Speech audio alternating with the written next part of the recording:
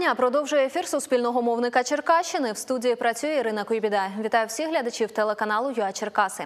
Обласний драматичний театр може відновити роботу у відбудованому приміщенні вже цьогоріч. А платіжки на тепло в регіоні зменшились в середньому на 167 гривень. Про це заявив голова Черкаської обласної державної адміністрації Роман Боднар під час прес-конференції. Разом з колегами зі служби новин ми зафільмували головні обіцянки, прогнози та інформацію щодо поточних проблем, які озвучив сьогодні очільник області. Далі протягом ефіру пропоную розібрати їх докладніше та послухати пряму мову Романа Боднара. Отже, за словами очільника області, відбудова театру відбувається у дві черги. Перша нині завершена на 98%. Вартість другої черги була нещодавно скоригована до 118 мільйонів гривень. Тобто саме така сума потрібна, аби запустити роботу театру. За словами Романа Боднара, для цього потрібно вирішити також питання обладнання і благоустрою.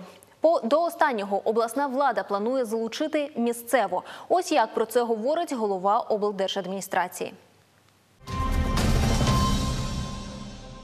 Проект був розроблений, що я не помиляюсь, в 2016 році. Передбачалося дві черги е, на будівництво драмтеатра. Перша черга е, демонтаж, е, будівельні роботи в основному, ем, облаштування приміщення, а друга черга монтаж е, сцени, світлової техніки, звукової техніки, е, все, що стосується е, в основному там монтаж і е, саме, саме обладнання. Значить, на даний момент перша черга відсоток виконання 98%. Перша черга. Тобто е, приміщення збудоване, всередині облаштування зроблено. Е, Залишається друга черга, е, і там виникають у нас питання. За попереднім проектом е, розмір е, проектна кошт- кошторисна вартість другої черги складала 56 мільйонів. Значить, відбулося нещодавно буквально коригування. І е, значить, проєктанти і визначили, що вартість другої черги має бути з якихось підстав 88 мільйонів. Ні, навіть 118, було там дві цифри, 117 мільйонів. Тобто другу чергу, щоб добудувати, запустити повністю повноцінний театр, 118 мільйонів. Значить, ми буквально позавчора провели нараду, ми заявили свої, якби, своє бачення. Е, Ви розумієте, що можна обладнання купляти е, різне. Можна їздити на Volkswagen, можна на Мерседесі. Та, можна купити і за 200 мільйонів. Але давайте виходити з того, з наших можливостей в ДФРР, тому що єдине джерело фінансування, яке ми можемо використати, це фонд регіонального розвитку.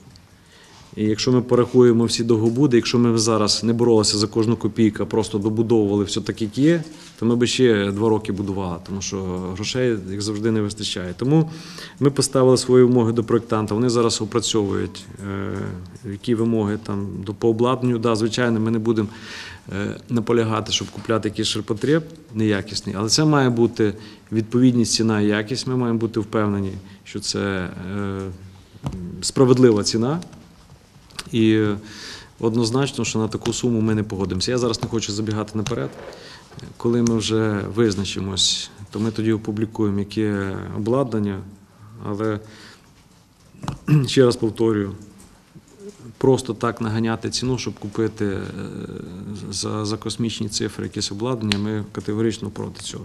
Тому дочекайтеся, ми не, не підпишемо ніякі там документи, поки не будемо знати, що вибрано саме оптимальне е, обладнання, якісне за розумну ціну по драмтеатру. Просто ми, коли зараз всі об'єкти проаналізуємо, ми побачимо, що у нас фонд регіонального розвитку, говоря, там 150 мільйонів виділять, а щоб нам все, всі об'єкти закрити, буде навіть трошки більше. І тому ми маємо визначатися. Е, Ми підходимо е, стратегічно до вирішення цього питання. Е, Драмтеатр це той об'єкт, який реально можна в цьому році запустити, і треба запускати. І ми акценти будемо робити все-таки на, на драмтеатр. Єдине, що ще раз кажу, за кожну копійку ми будемо боротися. Ми маємо намір вирішити це питання в поточному 2020 році. Там питання монтажу обладнання, там питання благоустрою. е, до якого ми маємо залучити ще місцеву владу. Наскільки мені відомо, в минулому році відбувалася спільна нарада і питання благоустрою. Е, Міська влада е, ніби взяла на себе. Ми зараз е, ми мали попередню розмову з Анатолієм Васильовичем. В нього заперечень немає. Єдине, що ми хочемо до благоустрою ще долучити громадських активістів. Вони хочуть проаналізувати проект, тому що благоустрій та площа, яка буде перед драмтеатром, вона також впливає на, на, на всю архітектуру всього об'єкту. Там є проблеми. Є проблеми, ми зараз е, ведемо перемовини. Там є по монтажу самих крісел є проблеми. Ну, ми можемо зараз е, без сцени, да, там величезне приміщення, і можемо його там використовувати під інші заклади. Але е, я би хотів все ж таки, якщо ми побачимо, що у нас будуть якісь е, технічні питання, які перешкоджатимуть нам відкриття цього об'єкту в цьому році, то ми е, вкинемо всі сили, щоб відкрити хоча б першу чергу. Але я би хотів відкрити театр е, повністю до кінця цього року. Цього, голова обласної адміністрації заявив, що майже всі теплопостачальні компанії Черкащини знизили вартість опалення для населення. За словами Романа Боднара, зниження тарифу відбулось завдяки зниженню ціни на газ. Нагадаю, раніше кореспонденти Суспільного повідомляли, що мешканці обласного центру, будинки яких обслуговує Черкаська ТЕЦ, платитимуть за опалення на 12% менше. Про це розповів кореспонденту голова правління ПРАТ Черкаське хімволокно, е, який підпорядковується установа Віктор Олексенко. Зниження тарифу ухвалила Нацкомісія. Нагадаю, 24 грудня 2019-го уряд ухвалив постанову, за якою теплопостачальникам дозволили коригувати платіжки відповідно до актуальної ціни на газ, порівняно з тією, яка була закладена у тарифі. Дивимось сюжет наших колег про це. Ми знаходимося на центральному тепловому щиту номер 2 Тут е, знаходяться панелі керування основних е, теплових агрегатів. І з цього місця відбувається теплопостачання міста Черкас. Черкаська ТЕЦ обслуговує мешканців 800 будинків обласного центру. Раніше для них тариф складав 1173 гривні за гігокалорію, говорить голова правління ПРАТ Черкаське хімволокно, який підпорядковується установа Віктор Олексенко. Ми з літа працювали над новими тарифами, робили всі розрахунки, і більше того, в нових тарифах вже врахована різниця в ціні в газі.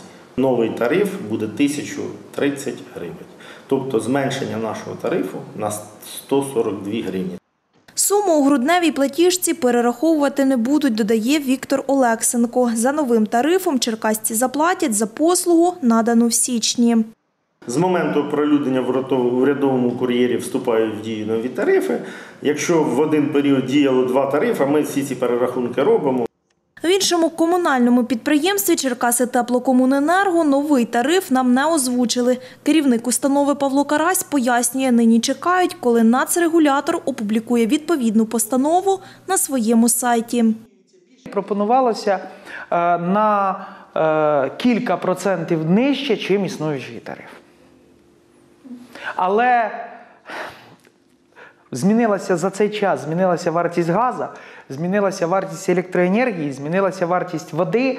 І який остаточно тариф прийняла Національна комісія, подивимося. Давайте почекаємо день-два, поки появиться постанова на сайті Національної комісії.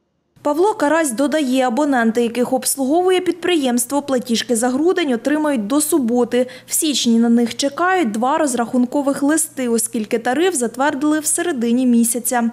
Платіжку формуватимуть по-новому згідно зі змінами до закону про житлово-комунальні послуги. Він набув чинності 1 травня. Фактично його виконувати почали у цьому році. Людина в платіжці, яка буде більше, ніж листок А4, вона буде бачити всі складові місця загального користування, Е, втрати тепла на функціонування системи внутрішньобудинкової системи опалення. Е, Буде бачити внески на е, встановлення, обслуговування, повірку, заміну комерційних приладів обліку. Серед інших тем голова Черкаської облдержадміністрації розповів про ситуацію щодо ремонту Черкаського аеропорту. Він зазначив, що профільний департамент облдержадміністрації тривалий час не мав очільника. Після конкурсу і призначення керівника стартувало дослідження проблемних питань у галузі капітального будівництва. За словами Романа Боднара, результати державної експертизи стануть відомі після 20 січня. Тоді ухвалюватимуть відповідні рішення. Нагадаю, як раніше писали журналісти, інтернет-видання 18.00 Вищий антикорупційний суд розглядає кримінальну справу щодо можливого завищення вартості робіт із реконструкції злітної смуги аеропорту Черкаси.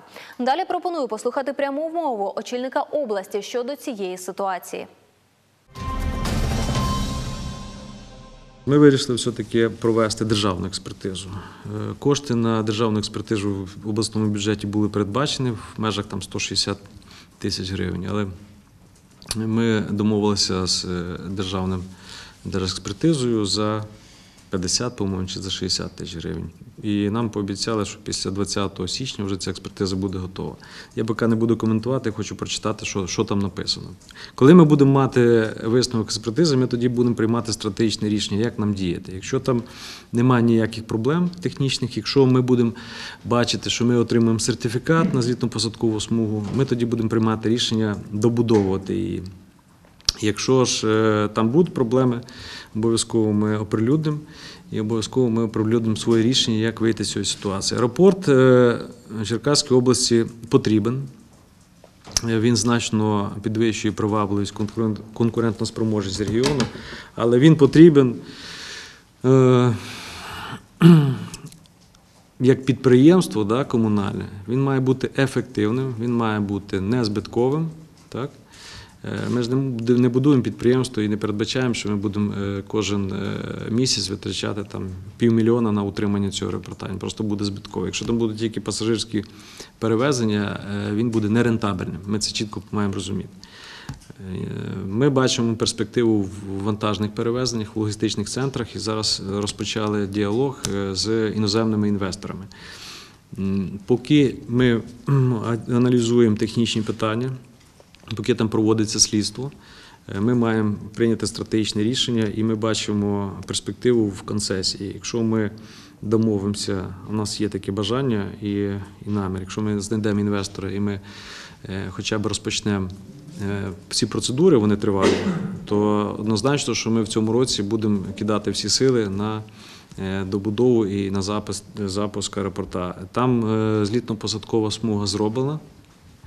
Там треба ще доробити огорожу спеціальну протипідкопну. Це стосується безпеки. Це досить коштовне задоволення. Воно порядка 50-60 мільйонів буде коштувати. Але без огорожі ми не отримаємо сертифікат. Там треба доробити е, пірон і рульошку. Ну, тобто певні капіталовкладення там ще потрібно зробити. Але ми будемо наполягати на цих додаткових вкладеннях після того, коли ми чітко зрозуміємо, що далі буде з цим аеропортом. Значить, добудувати його, ще раз повторюю, це не проблема. Є кошти, освоїли, відрепортували, аеропорт готовий. Що далі? Хто мені пояснить, що далі з цим аеропортом? Тому е, активні перемовини з іноземними інвесторами. Е, Відпрацювання, значить, техніко-економічне обґрунтування. У нас е, є, знайшли ми фахівця, який може провести е, глибоке дослідження да, щодо перспектив діяльності литовища. І потім ми виходимо вже на якесь принципове рішення.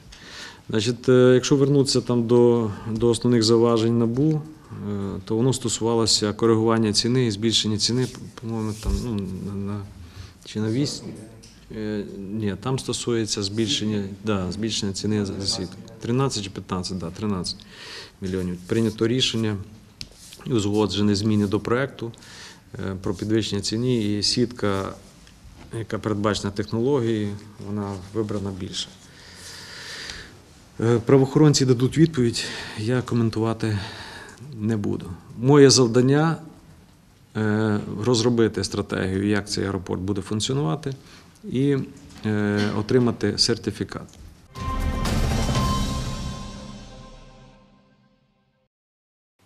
Реагуючи на питання журналістів на сьогоднішній прес-конференції щодо нових заступників, Роман Боднар заявив, що було визначальним у їхньому виборі. Мовляв, ці кандидатури він рекомендував і несе персональну відповідальність. І жодних нав'язувань зовні не було.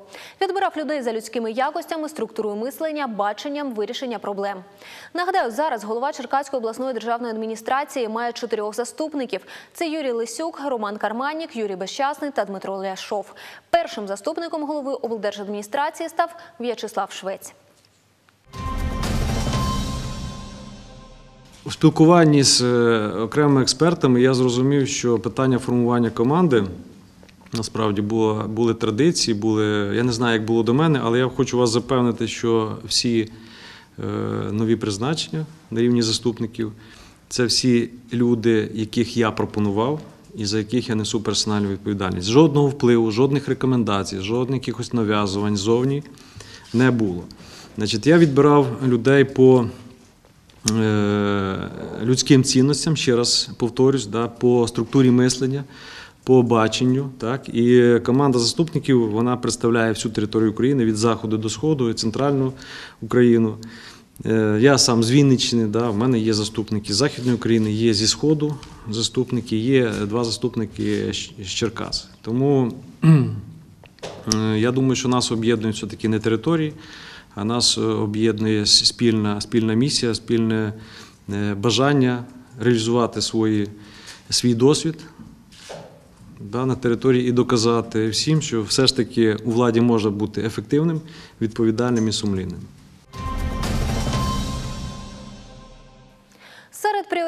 Напрямків розвитку Черкаської області у 2020 році голова обласної адміністрації назвав конкурентну спроможну економіку регіону, ефективність публічного управління і якість життя. Також він розповів, на якому етапі нині будівництво амбулаторій в області. За словами Романа Боднара, при вивченні недоліків у проєктно-кошторисній документації деяких амбулаторій виявили суттєві зауваження. Цитую, деякі проекти були відверто низької якості. Зокрема, не було передбачено інженерних рішень для доступності закладу для людей з інвалідністю. Кінець цитати. Далі слухаємо пряму мову.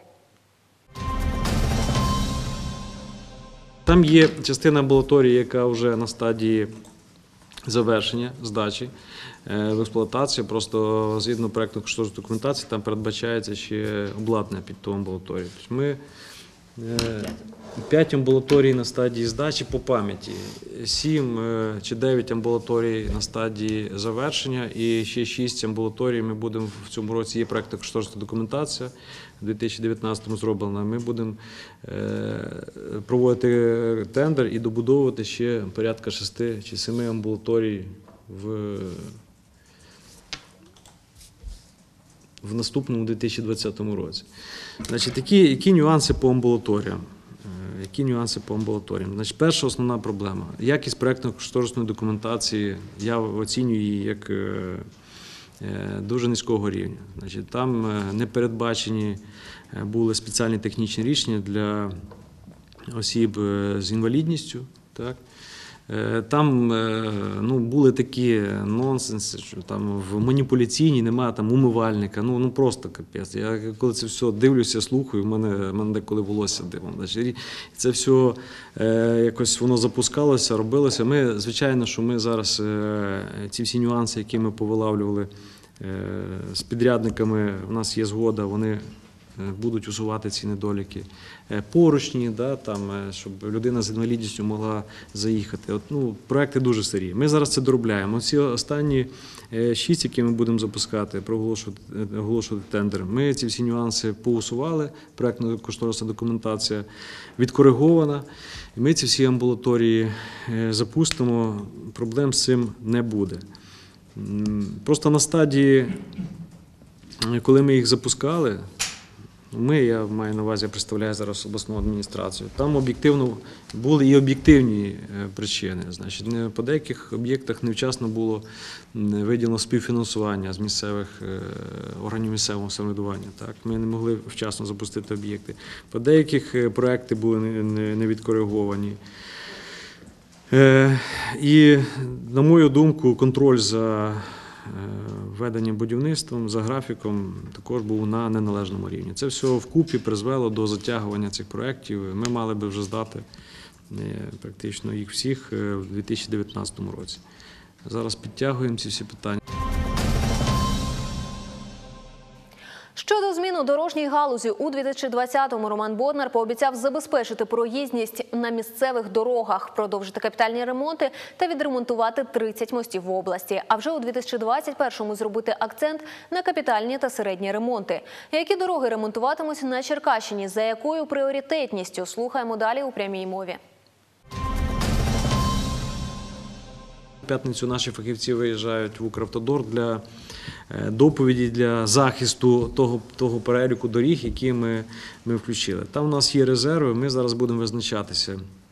Взагалі, що ви розуміли, в цьому році е, я вам зараз, от як би ви не просили, конкретну цифру не назву, але ця цифра, що стосується е, державних, національних, регіональних і територіальних доріг, буде значно значно більше, ніж до, ці, до, до цього року. Остаточне рішення ще не прийнято, але е, якщо в минулих роках це там на, на рівні 1,4, там 1,7 мільярда гривень, то починаючи з цього року там значно е, інше буде фінансування. Ну я вам не скажу, тому що це питання порядно ще е, на днях воно буде тільки прийнято відповідними постановами. Найближчий час, але я впевнений. Я зранку цю інформацію отримав, і це, це єдин, єдина інформація, яка підняла мій настрій. Е, я впевнений, що буквально за декілька е, років, декілька, це рік-два, ми ну, просто на новий рівень піднімемо якість цих доріг. В, в, це, в ці кошти, які передбачаються, е, там будуть закладені і роботи по встановленню стаціонарних е, комплексів зважування безперервної дії коли автомобіль просто буде проїжджати через комплекс, автоматично буде зважувати. Це важливе питання.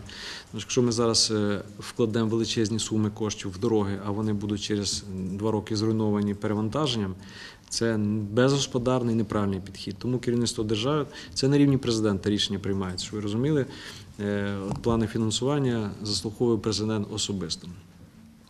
І е, будуть залучені і кредитні кошти, і кошти ЄБРР. І ми маємо зрештою поставити край цій проблемі, коли ти їдеш і ти не знаєш, чи ти доїдеш чотирма колесами, чи, чи десь по дорозі будеш. І, звичайно, що виникне питання освоєння цих коштів. Тут ми з самого початку на березі будемо свої вимоги виставляти, але е, там замовники е, робіт е, служба автомобільних доріг. А стосовно наших е, доріг місцевого значення, то ми вже в принципі розуміння знайшли з підрядниками. Ще не всі тендери проведені, мається на увазі по зимовому обслуговуванні об'єктивно. Десь когось е, е, збило наша вимога щодо трекерів. Значить, хочу прокоментувати: трекери це не панацея, і вони не зможуть нам вирішити всі проблемні питання, але це один із елементів, який дасть нам можливість або стимулювати добросовісного або недобросовісного виконавця робіт, вчасно виїжджати на об'єкт, да, коли сніг, і ми повинні подивитися, скільки чи чим він там займався. Трекер якраз дає таку можливість. А сказати, що ми поставили трекери і все, ми питання вирішили, звичайно, що це не так. Це цілий комплекс питань, які будуть, е, на які будуть звертатися увага під час трекерів. Там передбачаються суми знову ж таки. е, Це е, розпорядження, яке буде видано по розподілу коштів на капітальний ремонт, на середній ремонт, експлуатаційне отримання е, з відповідним додатком з переліком доріг. От воно повинно бути е, в п'ятницю, можливо, на наступному тижні вже остаточно затверджене. Після того ми включаємося в роботу. Е, В нас багато мостів на цей рік заплановано відремонтувати. Е, По кожному об'єкту буде дуже серйозний контроль. І я сподіваюся, я вже там з громадами, коли спілкуюся, я сподіваюся, що ми будемо отримати фідбек, зворотній зв'язок від е, місцевих людей, які будуть бачити, якщо ж невчасно або неякісно робиться, ми обов'язково будемо реагувати.